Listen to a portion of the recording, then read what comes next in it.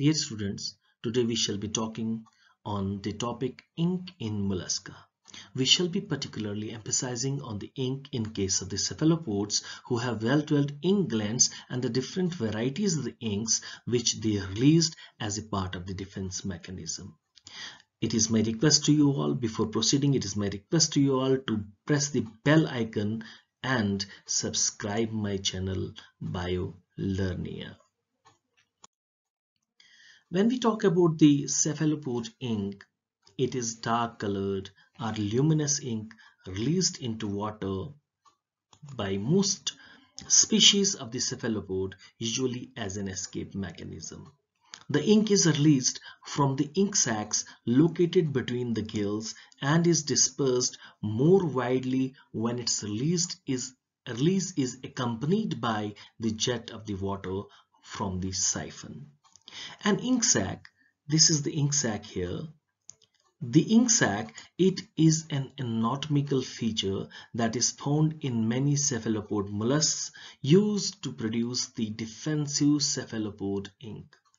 When, with the exception of the nocturnal and very deep water cephalopods, all chelidia, that is the chelids which are mostly squids, octopus and cuttlefish, which dwell dwell in the light conditions, they have the ink sac, which can be used to expel a cloud of the ink in order to confuse the predators. Um, this um, uh, very um, ink sac, it, it lies beneath the gut and it opens into the anus into which it its contents almost pure melanin can be secreted. Its proximity to the base of the funnel means that the ink can be distributed by the jet water as the cephalopod uses it as a jet propulsion. The ejected cloud of the melanin is bound by mucus particles so it forms a lump approximately the size of the cephalopod, fixing the predators attention while the mollusk itself makes a hasty escape. So usually this very cephalopod ink, it is this very ink sac it releases it its ink and it is also used as a jet propulsion to confuse the prey so that it can have a time it can have a window period so that it can escape from its predator here in this very figure the ink sac of the um, of the Ctenopteryx sicula is shown wherein the ink sac is is shown just below the accessory nidamental gland along the intestine. When we talk about this very cephalopod ink, when the sepia, it is frightened in terror and it is in terror, it produces the blackness and muddiness, this blackness and the muddiness in the water. As it were a shield held in front of the body. So this was the statement which was given by the Aristotle in his book The History of Animals, book 4, it is 350 BC and it was translated by Arthur Leslie Peck and Edward Seymour Forster. So there are other books as well, the progression, the uh, progression of the animals 1937, wherein the Aristotle has talked at length about the cephalopod ink. Cephalopods have stimulated the scientific minds, artistic emotions, and sensory palates of the humans for millennia. And as the above quotations reveal, their ink has played a central role in the fascination. Aristotle wrote, wrote about the inking cuttlefish 2500 years ago. In fact, Aristotle himself has been described by his contemporaries and the modern uh, scholars as the cephalopodian because he has written very much about the cephalopods with the smile that he is like the cuttlefish who obscures himself in his own ink when he feels himself about to be grasped. Today in this very lecture we will discuss the production of the ink, production uh, this very functions in the natural environment including predator-prey interaction, the chemical constituent and their role in these functions and also its uses by the human beings including the development of the drugs, therapeutics and the commercial and the industrial applications. In the picture above you are able to see the drawing wherein the cattle releases the ink in order to stun the prey predator. Wherein in the lower case you are able to see the photograph wherein the uh, cuttlefish um, just releases the cloud of the ink to escape from the predator or to stun the predator the cephalopoda, it is a class of the mollusca that appeared 500 million years ago and it lives in marine environment mostly. Cephalopods are represented by two major extant groups, groups that is Nautilidia and Chelidea. So this is the example here in the Nautilus and this is the example here in the case as the Chelidea octopuses as well.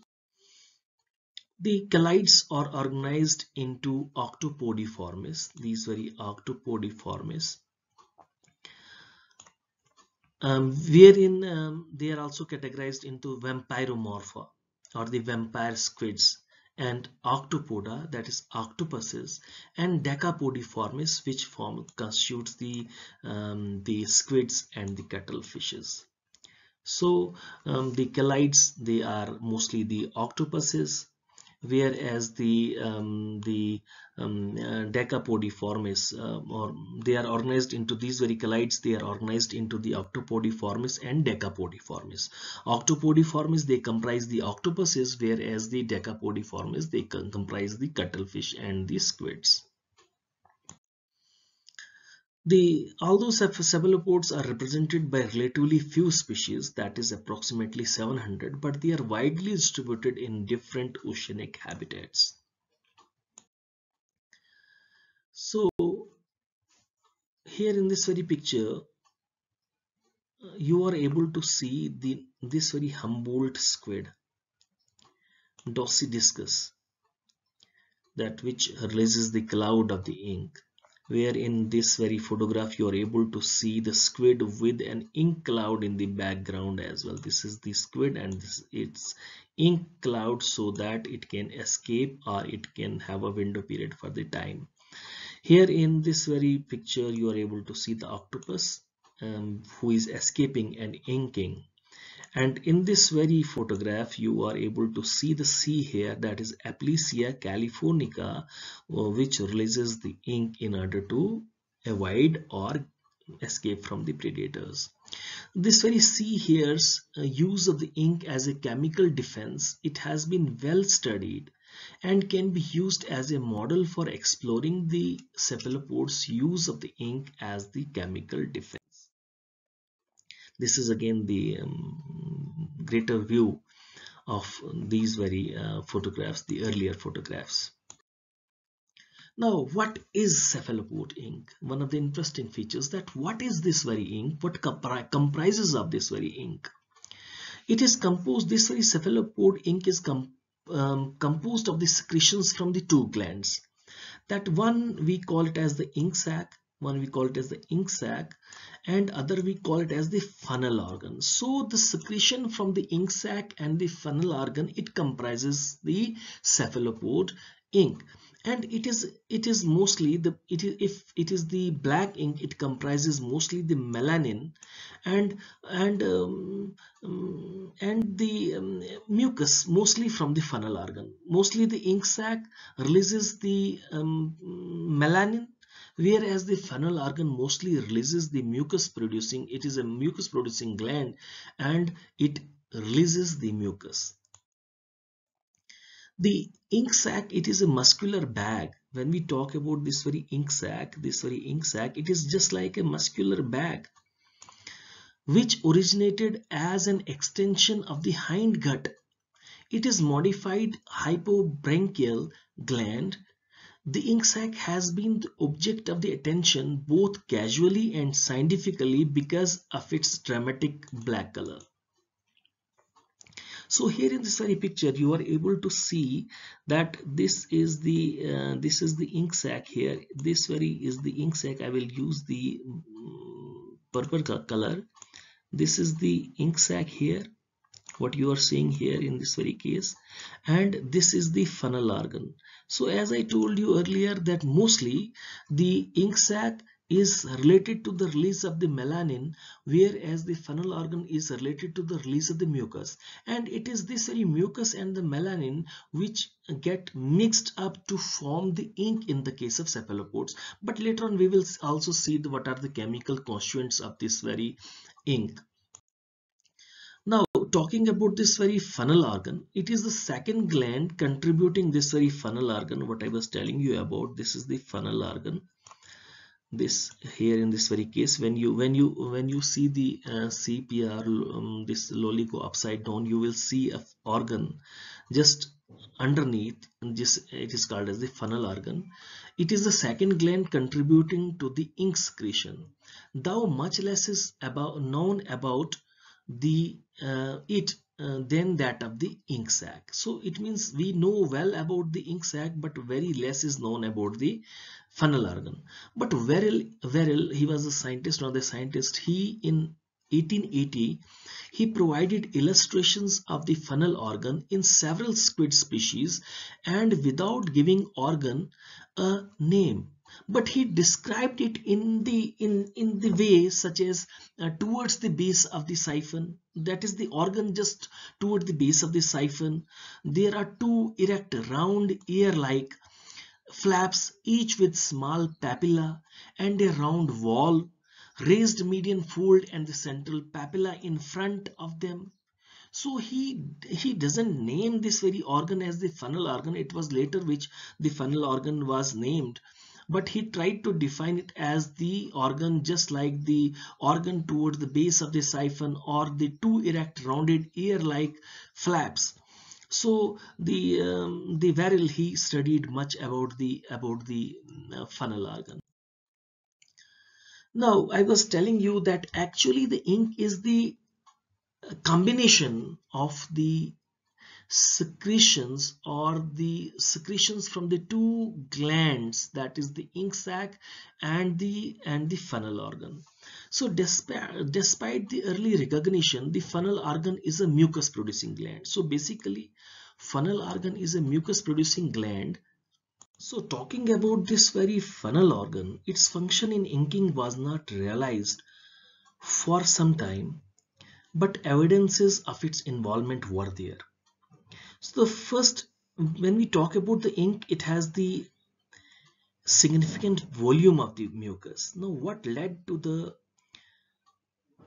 theory that the funnel organ is also involved in the ink is also involved in the secretion of the ink so when we talk that the ink has a significant amount of the mucus usually which is more than is present in the ink sac. So at least something is coming from some some other source. And secondly the mucus must come from somewhere in the area of the funnel siphon or the mantle cavity where the mucus is produced.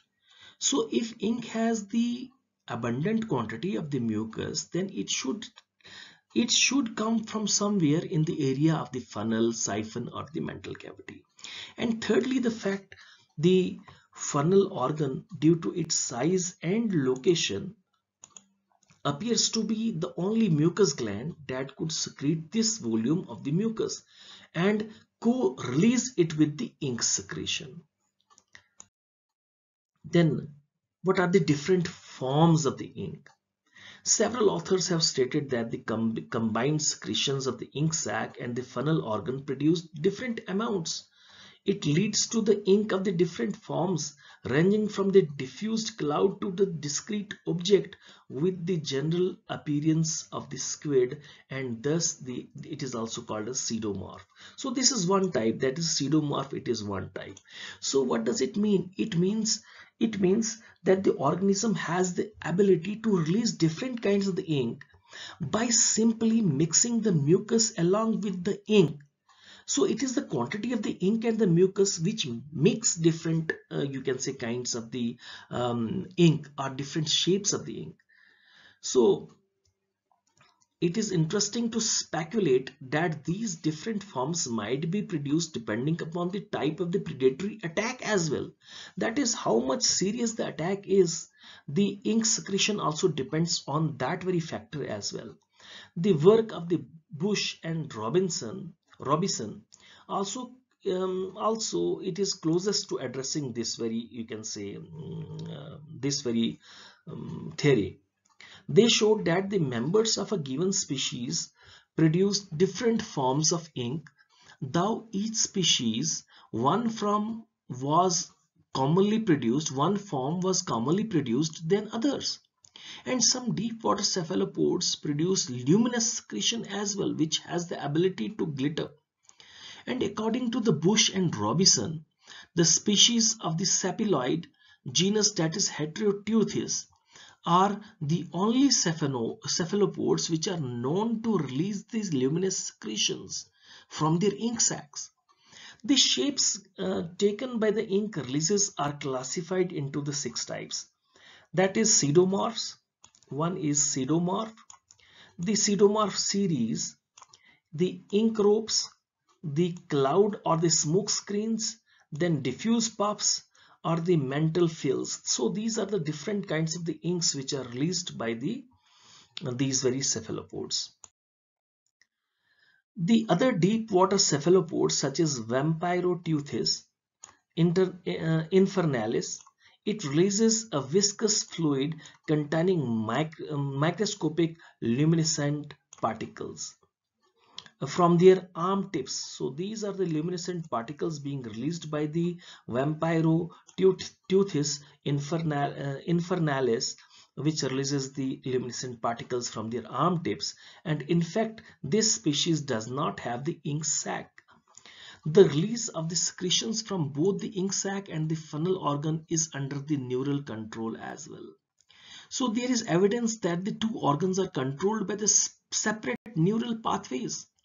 But this should be viewed with caution since results are from the few species only and are based on the classical anatomical track tracing techniques only.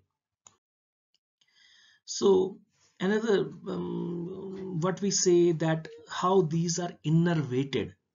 The ink sac including its duct and the anterior and the posterior sphincter muscles they are innervated by the visceral nerves so the, it means that the visceral nerves they are associated with these very ink sac which helps to release the ink from the latero-ventral ventral paleo-visceral lobe and the posterior sub-esophageal mass it is they are also associated so in support of this Bicot, he was one of the scientists, he demonstrated that the electrical stimulation of the paleovisceral lobe, it also enhances the release of the ink.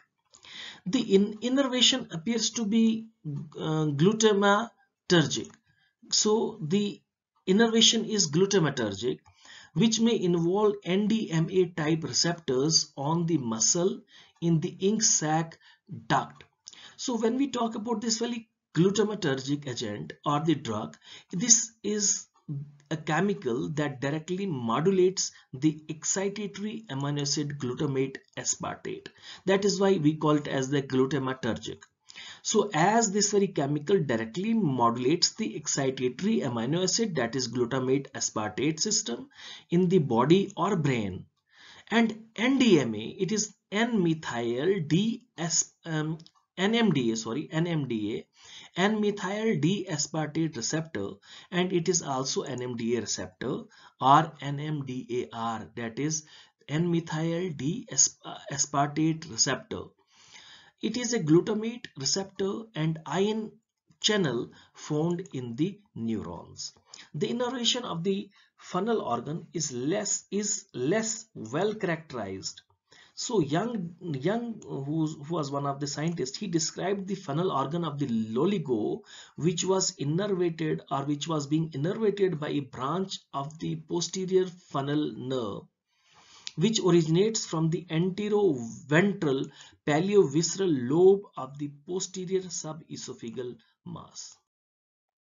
So this is uh, in this very picture i will just try to show you that this is the uh, this is the cerebral ganglia here and this is the um, this is the visceral ganglion here. This is the visceral ganglion which is also responsible for the for the innervation of the uh, innervation of the this is the visceral ganglion innervation of the ink sac so this is the anterior anterior funnel nerve. This is the visceral ganglion. And uh, uh, this is the circumesophageal connective. So these are associated this is the branchiobuccal connective. And this is the cerebro branchial connective and this is the branchial ganglion. So the, the, the nerves which I told you that they are very much responsible for the innervation and and this is the under the neural control. This ink release is under neural control as well. Now what are the chemical constituents of the ink so chemical structures and the concentrations identified in the collected uh, identified and collected from the ink sacs of the cephalopods, it is affected by the method of the collection. So that is what does it mean it means that the chemicals found in the in the uh, you, you can say um, uh, in the ink sac it depends upon the method of the collection as well such as Madaras. Madaras um, one of the scientists he uh, extracted the ink from the Sepioteuthis australis. And the he collected ink by two methods. That one method we call it as a syringe method and other we call it as the milking method. Now in both the cases he got different results. Though with the addition of the certain chemicals chemicals. So one method that is the syringe method used a syringe to collect ink from the duct um, directly from the duct um, from the end of the ink sac of the freshly killed squid and thus they tried to stimulate the natural release with as little manipulation and the damage to the ink sac as possible. So in the first case this very sharp needle was inserted into the ink sac to the posterior part and the and the extract was taken. So without harming the freshly killed squid and no damage to the possible ink sac. Now when we talked about the second one that is the and that is the you can say the milking method milking method so in this very method, the dead animals which were dead within 24 hours, whose ink sac was dissected out, now the ink sac was dissected out, the ink duct was cut and the contents of the ink sac, they were milked, milked into a tube um, just by running the forceps like this that is the um, ink sac was taken and it was milked. Like this whatever the contents were inside they were milked and they were taken with by the help of running the forceps on the ink uh, sac along its length which optimizes the amount of the ink collected. So but it is more likely to include the material from the damaged tissue as well. So it is by the pressure that the tissues were damaged and the damaged tissues will also come uh, along with the ink as well. So there is possibility of that way as well so these very two methods the both the method the both these methods the ink extracted by both these methods they were they were tested for the to know that what are what are the chemicals which are present in the ink. So the syringe method, they identified the DOPA. So by this very method, that is the syringe method, the DOPA, that is L34-dihydroxyphenylalanine or L-DOPA was seen, that is dopamine, and the taurine as the constituents of the ink. So DOPA, uh, DOPA, dopamine, and the taurine they were known to be the constituents of the ink in the case of the method that is syringe method but this very method um, but failed to find this very epinephrine. That is in this very syringe method the epinephrine that is a catecholamine derived from the tyrosine that, that is like dopa are the proteins are proteins that is neither tyrosinase nor other proteins they were found. It is only the dopa dopamine and the taurine which was found by the syringe method but by, by this method the scientists were not able to find the epinephrine or the proteins in this very extract. On the other hand when we talked about the um, milking method. This very milking method wherein the extraction was very harsh with the help of the forceps the damage the tissues were also damaged. They yielded tyrosinase the tyrosinase was also found and the epinephrine was also found and according to the Madaras et al it may be due to the disruption of the parts of the ink gland that normally do not release their contents into the ink sac. So it may be because of the damage to the ink gland and normally these very constituents could not or may not be present in the ink otherwise. So they are either due to the damage during the collection or by the autolysis and many times this can be present because of the autolysis after the death of the animal and before collection.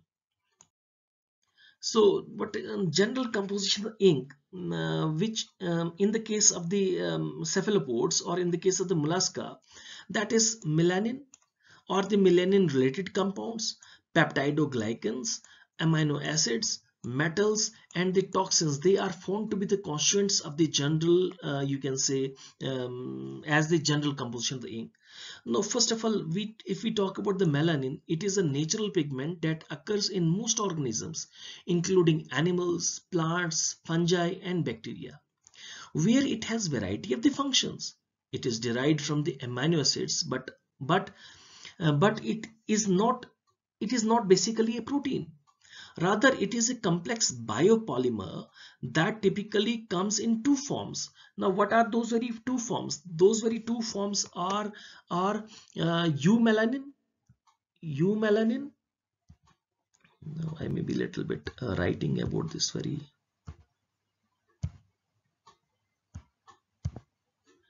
that is eumelanin and pheomelanin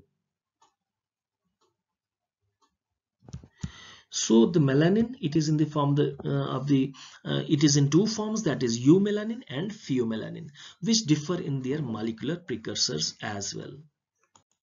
Then uh, we do have the melanin uh, related compounds or the melanin producing pathway. In the ink gland has a number of important chemicals and they are also tyrosinase dopamine and dopa. And enzymes such as tyrosinases peroxidases, dopachrome arranging enzymes, they are also present. So fucose rich and thirdly we do have the peptidoglycans where in the fucose rich peptidoglycans have been isolated from the ink of the several species of the squid. Then we do have the amino acids. We do have the amino acids as well. The cephalopod ink, it is high in dissolved free amino acids. Derby, one of the scientists, he showed that the six species of cephalopods, including two squids, that is Doryteuthis, that is Loligo, or uh, Lolliguncula, that is two octopuses, are Octopus vulgaris and Octopus bimaculoides, and the cuttlefish Sepia officinalis have millimolar levels of the total dissolved free amino acids. So it means they have very little amino acids ranging from the 0.5 to 132 millimoles and one of some of them are the taurine and tyrosine as well then we do have the we do have the constituent as the metal as well metals as the constituent as well. And relatively high levels of the metals such as cadmium copper and lead have been found in the case of the cephalo in in the cephalopod ink. Then uh, certain toxins are also known to uh, be in the uh, in the ink of the cephalopods and they generally known to contain the toxins such as uh, we do um, we are very much familiar about the tetrodotoxin tetrodotoxin which is shortly known by the name of the TTX TTX TTX which is also known by the name of the TTX and if you are if you know that the pufferfish or Tetraodon that very fish also has this very toxic component that is tetrodotoxin shortly named as ttx it is it is toxic to some marine animals and humans and has been found in the blue ringed octopus. And um, and Hapalochlaena uh, lunulata um, is one of the another you can see organism where in this very TTX has been found. This species has um, uh, this very um, TTX that is tetrodotoxin in its salivary glands and a bite releases enough TTX um, which is enough to kill a human being and especially uh, since an anti-venom to TTX is not available till date we don't have any antidote to the ttx so the death rate um, is high very much high the blue-ringed octopus usually the salivary TTX for capturing the prey and as a defense from the predator. This species has has the TTX in its ink as well.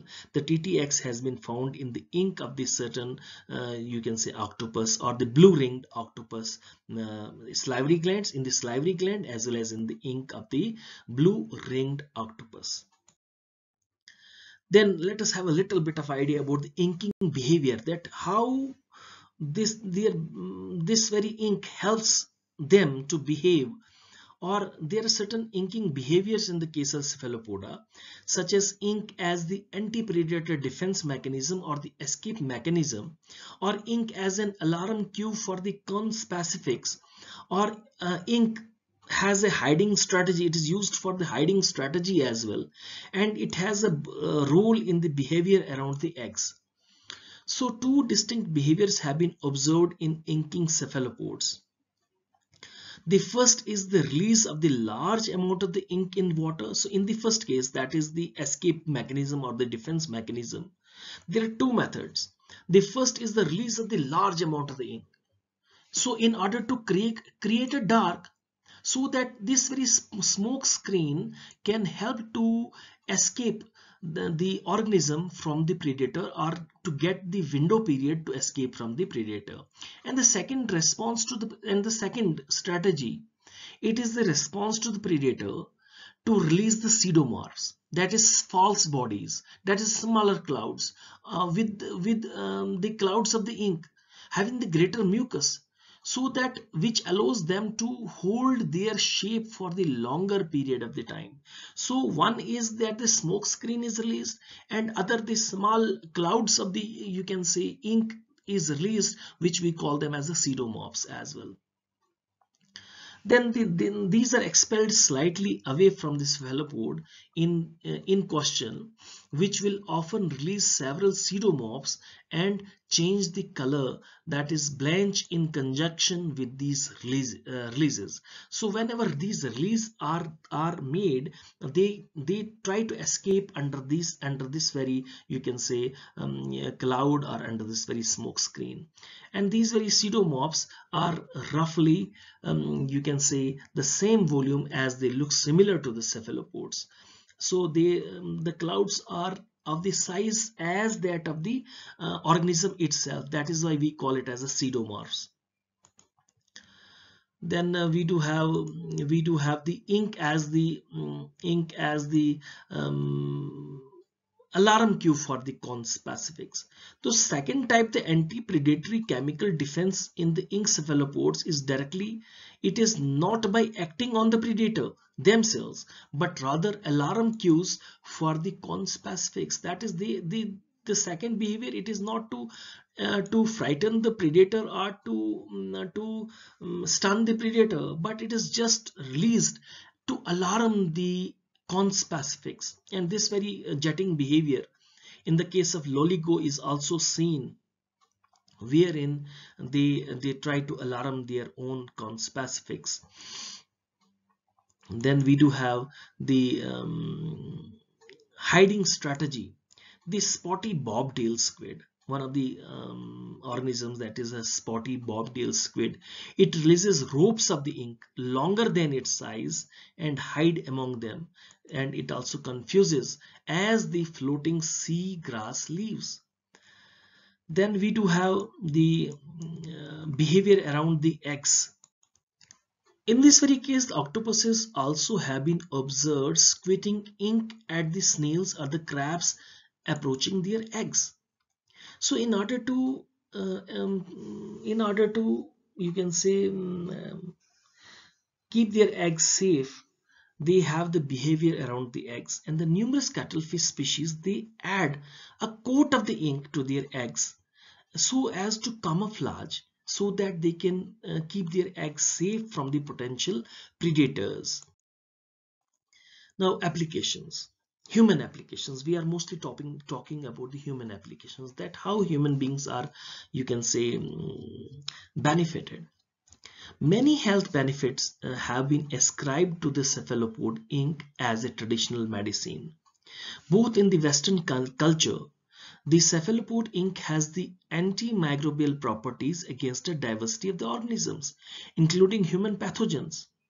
And the cephalopod ink has the potential um, this as the drugs as well and it is it has also potential as an anti-cancer agent so and it has antimicrobial properties as well. It can act as anti-potential anti-cancer properties as well. And, and uh, talking about the hemopoietic effects cuttlefish cuttlefish ink may enhance the immune responses by affecting the hematopoiesis. For example it promotes the proliferation and differentiation of the granulocyte monocyte progenitor cells as well so that it can enhance the immune system and it has the hemopoietic effects. Then the anti-hypersensitive action. The ink from the loligo and the Sepiella uh, uh, they have been reported to have the antiretroviral activity as well and the ink from the octopus inhibits the gastric. Many times the anti-ulcerogenic actions or the anti you can say gastric anti-gastric secretion or the anti-retroviral activity has also been noted by um, in case of the ink and the ink from the squid and octopus in, uh, inhibits the gastric secretion of the rats and thus has the potential in the development of the anti-ulcerogenic drugs as well. Now, anti it has also anti-inflammatory activity and it is also noted for the some fraction of the squid ink that inhibits the gastric secretion um, by the anti as an anti-inflammatory activity. It has also antioxidant activity antioxidant activity. Cephalopod ink has antioxidant activity and it resides in both the melanin and the melanin free fraction of the ink. So this antioxidant activity it may be related to some of the other um, such as anti-cancer effects as well as the photoprotective you can say effects. Um, then uh, this very sepia ink as a pigment in writing art and cosmetics.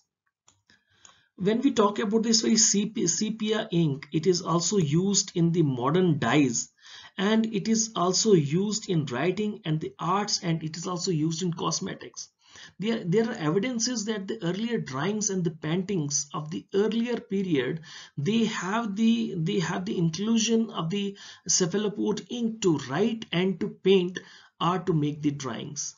Cephalopod ink is also used as the food. So it has been used uh, in different ways in the food industry. The most common is it's used as the food flavoring or the it is used worldwide as a food flavoring agent and the most commercially sold squid ink is usually cuttlefish ink because of its superior flavor as well. So it is also used in the food industry as well. It has different applications. It has the application the drugs antimicrobial properties potential anti-cancer properties hematopoietic effects anti-hypersensitive actions potential anti-ulcerogenic actions anti-inflammatory activity anti uh, oxidant activity and the it, it is used as the as the ink for the writing art and cosmetics and it is also used in the in the um, in the food industry as well so uh, this is all from the compilation from one of the good papers by the Charles D. Derby that is Cephalopod Ink. Production Chemistry and Functions and also the sources from the Wikipedia as well.